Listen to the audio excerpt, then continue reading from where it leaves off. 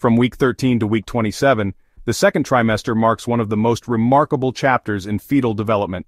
Inside the womb a once fragile embryo begins to transform into a fully formed, active and responsive human.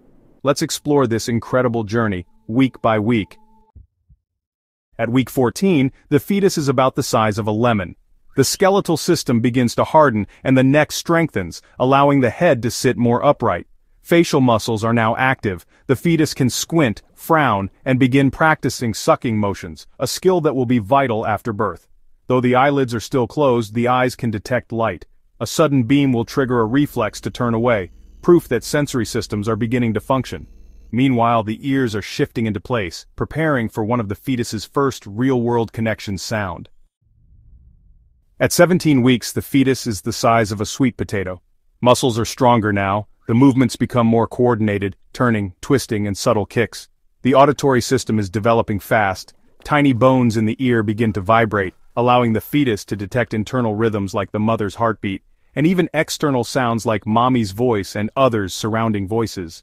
The body is now coated in lanugo, a soft layer of hair that insulates the skin. Alongside it a creamy layer called vernix caseosa forms, protecting the fetus from prolonged exposure to amniotic fluid. By week 21 the fetus is about the size of a carrot. Breathing movements begin, not with air, but by pulling amniotic fluid in and out of the lungs.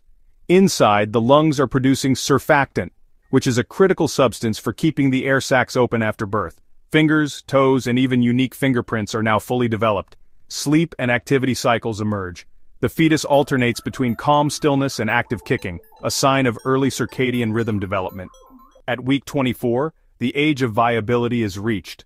A baby born now could potentially survive with intensive care, though honestly, each week in the womb increases the chance of thriving dramatically.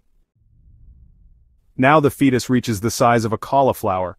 The brain is growing rapidly, forming trillions of connections. These neural links are the foundation for movement, memory, and emotion. The nervous system is sophisticated enough to respond to sound. A loud noise might startle the baby into jumping or shifting position, after weeks of being sealed shut, the eyes start to open. They can now sense shapes, motion and brightness through the womb.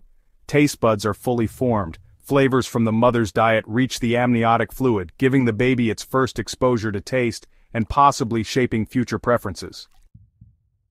By the end of the second trimester, a once invisible bundle of cells has become an aware, active, and developing little human. Each kick, twist, and flutter is a signal of life preparing for the outside world. To continue this journey into the final stage of pregnancy, don't forget to subscribe and watch our next video, the third trimester, life before birth.